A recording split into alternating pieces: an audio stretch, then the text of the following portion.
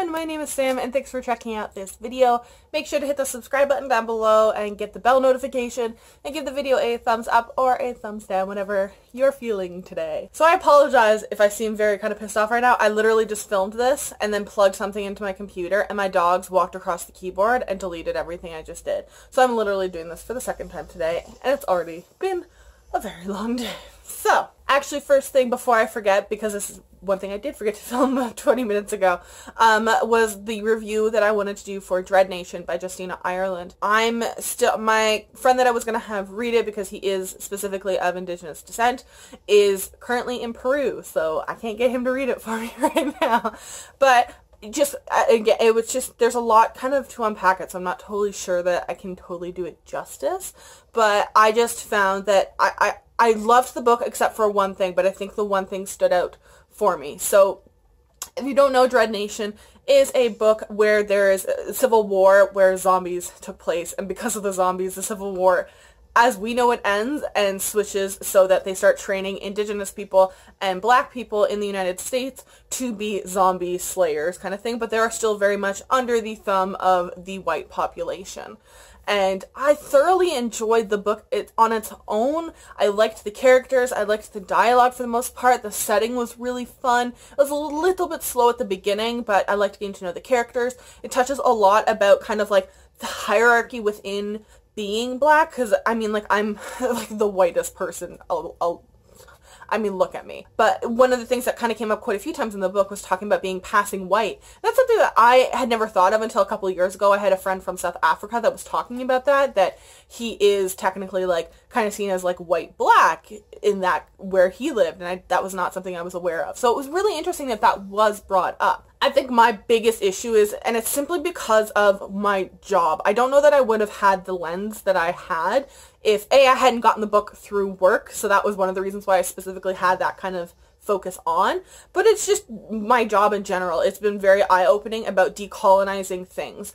In, I don't know the United States. I don't live there. I live in Canada, but in the last couple of years, we've had the Truth and Reconciliation Commission, which I am going to link in the description down below, about how Indigenous people in Canada are still to this day treated, and we did commit essentially a genocide. We committed a bunch of hor- while World War II was going on, we were trying to legitimately wipe out an entire race of human human beings in in Canada, and we're still still trying to get people to acknowledge that that happened and that racism still exists in Canada. It's a big problem here.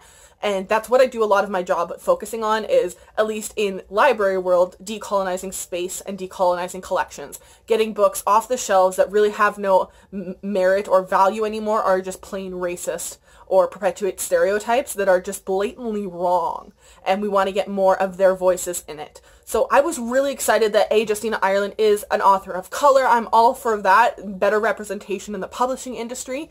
And then I was really excited when I found out that there was going to be an Indigenous character.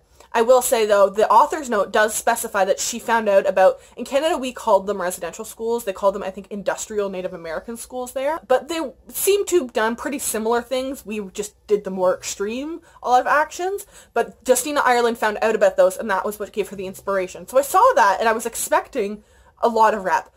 That was, I was very disappointed just on that, that there was one indigenous character. He didn't get a ton of lines. I think maybe he spoke four or five times. I love that she gave him a specified band because we homogenize those groups an awful lot of they're indigenous. Well, there's Plains Cree, there's Stoney Nakoda, there's like, there's the Mohawk, then there's Navajo, and like within those there's lots of different things and because they're split up on reserves too, they're kind of their own entities now as well, and they all have different languages and some are nomadic and some are not, and they all have different stories and just societal setups. So I was really happy that that was at least acknowledged. I had issue with, and I don't think it was done with ill intent, um, especially after I read the author's note, because it felt, before I read the author's note, it felt like the random character was just thrown in to add some more diversity to it. At the end, at the author's note, I don't know if maybe there were more before and it was edited out, or maybe she just focused so much on different parts of the book that she kind of forgot about it. I also am not trying to call the book or, you know, the author racist. And it's not, I didn't get that intent. I think it was just maybe a little bit of neglect or oversight a little bit that there's only one indigenous character and this isn't honestly I don't consider this a spoiler. His only role is to help kidnap and transport someone to a different place on behalf of the white person. There are already a lot of stereotypes within history. You can look at a bunch of different like um, posters in history of like natives kidnapping people and taking them off and that kind of stuff. And that's all he does. He never comes back. He never gets to redeem himself. You know, I think his big redeeming moment, if we could even call that, was like he left weapons for them to use at the end, but he never knew that that was going to, he never kind of went out of his way or stuff. It just, it just really, I, I read that and my heart just dropped and I kept waiting for something to happen or change or re- something. And it just, the book ended and I was very disheartened and saddened by that. Um, and I've I'd said that in, in a couple groups, and someone had made some comments of, well, it's a minor character. That doesn't matter. It doesn't matter if would you have the same mentality if all of them all the other characters were you know white and indigenous and that was done so that a one black character in the background had done the same thing? That's not acceptable to me. That's creating a race hierarchy which is not not what the entire you know representation representation was about. Also note that that was an arc so i don't know if that was fixed in the final copy. If you have read it and you noticed something or you think that I missed something, please let me know in the comment section down below. I would love to get a different perspective on this. Like I said, I am white, so I mean, I am of a privileged position. However, it's something that I've been re- really focusing heavily on.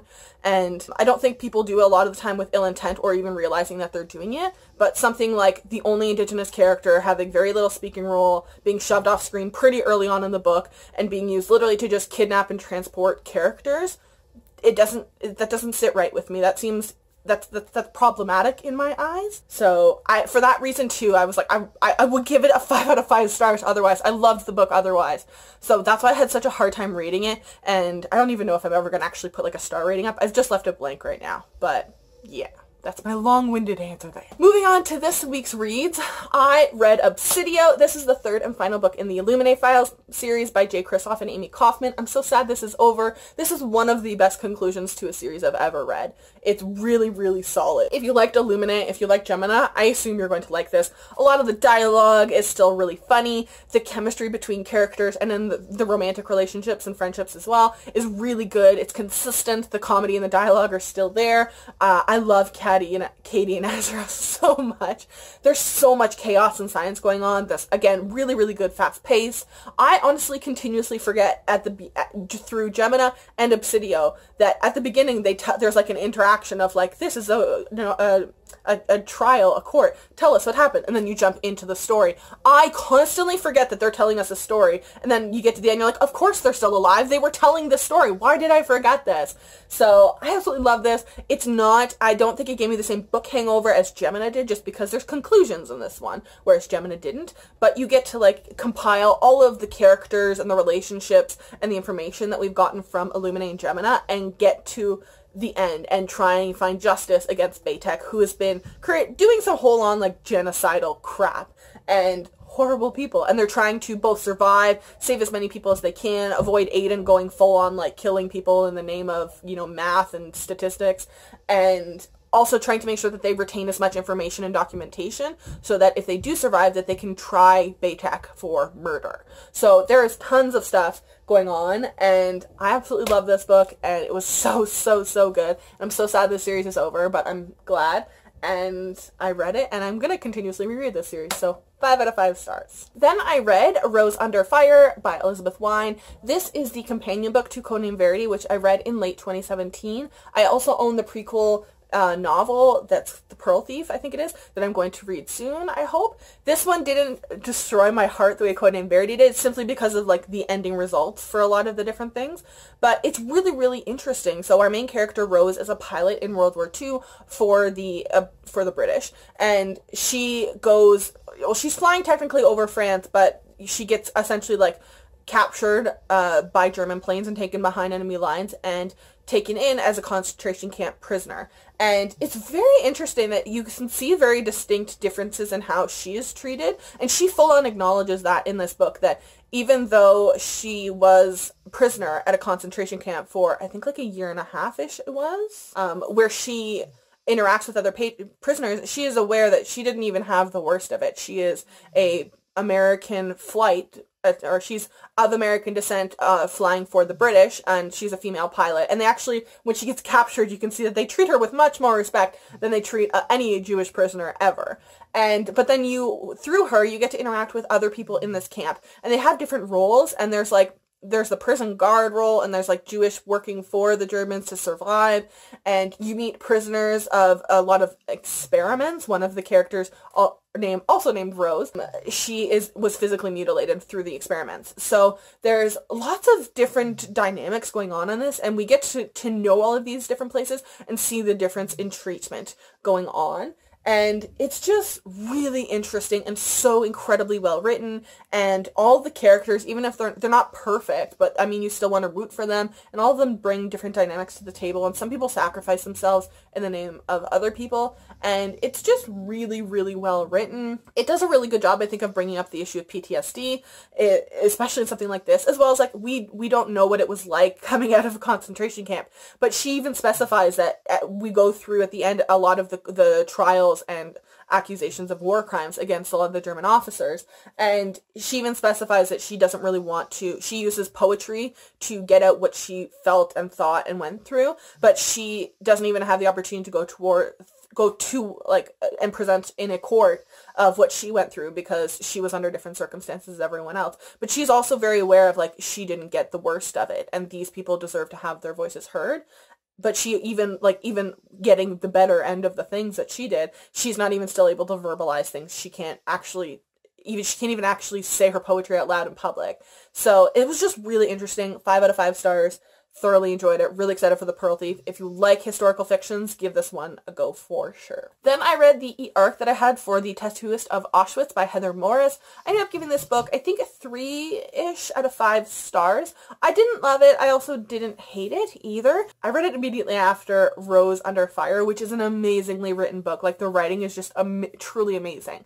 And unfortunately, the writing and the execution of this book was just not up to par on that. So I just by automatically default was kind of comparing it to that. It's it's quite interesting though. It's the true story of one of our characters who is from he was a Jewish descent but from Slovakia, and he is kind of the victim to when the Nazis invade that country and require them to forfeit all of their Jewish citizens. So he goes in and he's taken in, and I had I knew that they did get tattoos of their number, and that's how they were identified. But I had never thought about who did the tattoo of it, and in Austria and Auschwitz and Birkenhaus.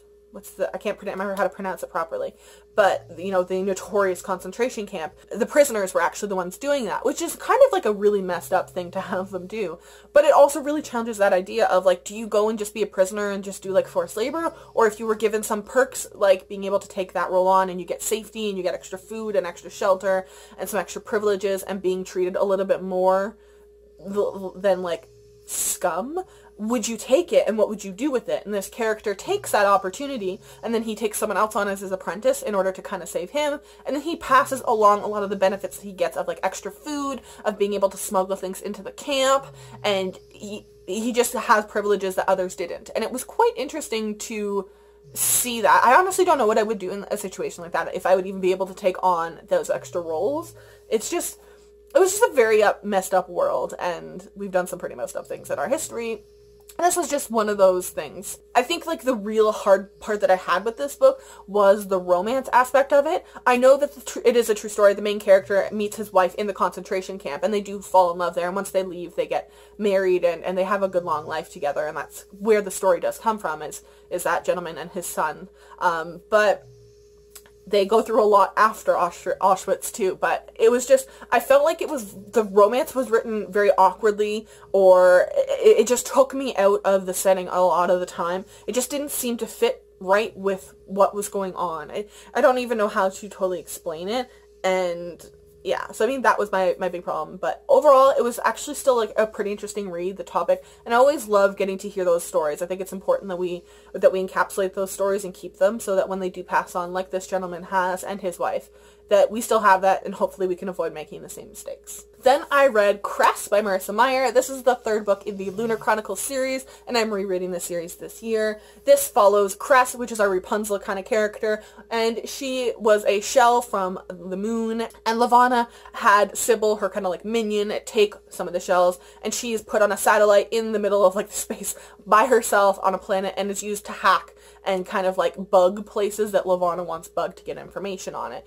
And she's really honestly emotionally abused by Sybil. And she we find out though has helped Cinder and Cress in the past few books, um, and we finally get to meet her. So it was really interesting. She gets comes down from that satellite onto the planet Earth, and you see her try and like figure out. She's just so naive and so love struck with some characters based on things that she thought she knew, and it's just seeing her go through different things. There's a lot of adventuring. There's a big lineage reveal, which I honestly did not see coming the first time I read this series, and we just keep building on this whole how do we save Kay Kai from Levana, the marriage that he's kind of being forced into, or she's going to like continue spreading a plague and withhold the cure.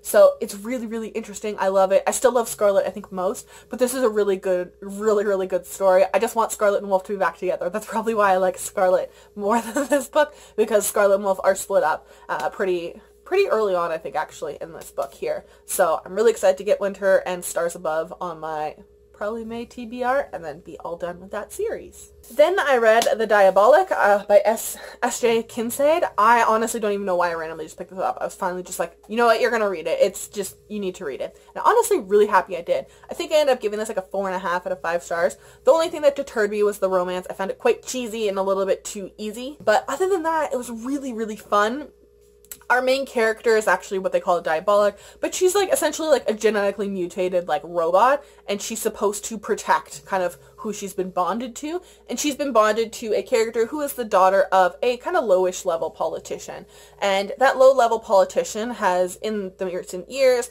pissed off the emperor of their whole kind of realm society social sort solar system. I don't even know. But he's kind of a sociopath. The Emperor constantly just wipes up people. He's been killing off family members that he thinks will even remotely threaten him for his role as Emperor. So the father is a big advocate for science and innovation to in order to sustain their continued model he knows that they need to however the emperor also acknowledges that science and revolu- science and technology revolution tends to go hand in hand with political revolution which would threaten him which you know fair enough so he's been barring it and has actually been imposing the same religion in all the areas that he rules that he abides by that benefits his system so he uh, gets pissed off with that dad and says, "No, what? Then I'm going to take your daughter, send her to court, and normally when that happens, the daughters get killed when they go to court. So instead they send their diabolic because no one actually know what their daughter looks like. So they send her kind of as a protection and lots of stuff goes on. There's some really messed up things going on in the court and you find out about like a revolution and there's coups and like, oh, the last third of this book is so intense. There are so much, there's so much backstabbing and death. I remember, I think in my review I quoted of like, that's a bloody ending. And by bloody, I mean like that was a really good ending as well as bloody. There's lots of death in it. so I am really, really curious. The very last backstabbing was like so good. And I, it, it really kept me like, but wait, so the next book, the sequel is called The Empress. So female, but which female? I don't understand what's happening here. So I'm really excited to read The Empress soon. And I think it's a, there's going to be three books out. So I'm going to keep going with this series. I really enjoy it. And if you're like me and have had this on your bookshelf for like two years and haven't touched it, do yourself a favor and pick it up. I think think you'll be pleasantly surprised. And last but not least, I read The Alchemyst by Michael Scott. It is the first book in the Secrets of the Immortal Nicholas in the Immortal Nicholas Flamel series technically it's actually YA, but having read it now, I actually would classify this as a middle grade. It's a little bit of YA, but it's honestly more middle grade than anything. There's lots of Percy Jackson vibes in this, and there's the use of like the Chosen Ones trope, as well as the come to the dark side kind of thing from Star Wars, which I really, really loved. But our main characters are Josh and Sophie. They are twins living in San Francisco with their grandmother at the time. Their parents are archaeologists, so they're currently away on a dig, and they're used to moving around because of their parents' job. And they're at in San Francisco where they both have summer jobs. They're about 15 years old Sophie works at a coffee shop and across the street is a bookstore where Josh works at for his boss Nicholas. And at the beginning, all of a sudden, things go amiss when Nicholas is and the bookstore are attacked and there's magical powers used and they don't know what's going on.